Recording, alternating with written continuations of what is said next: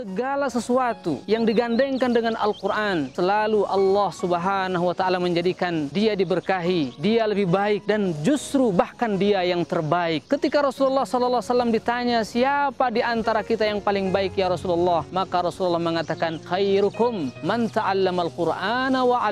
Sebaik-baik kalian adalah orang yang belajar Al-Quran dan mengajarkan Al-Quranul Karim Ketika Al-Quran diturunkan kepada Rasul Rasulullah Sallallahu Alaihi Wasallam, maka Rasulullah menjadi orang yang terbaik, Nabi dan Rasul yang terbaik. Ketika malaikat Jibril ditugaskan Allah Subhanahu Wa Taala untuk menyampaikan wahyu ini kepada Rasulullah Sallallahu Alaihi Wasallam, lalu dia dipanggil dengan sebutan kemuliaan oleh Allah Subhanahu Wa Taala dan diabadikan dalam Al-Quran Ar-Ruhul Amin. Maka hari-hari terbaik kita adalah hari-hari yang kita lewati dengan Al-Quran.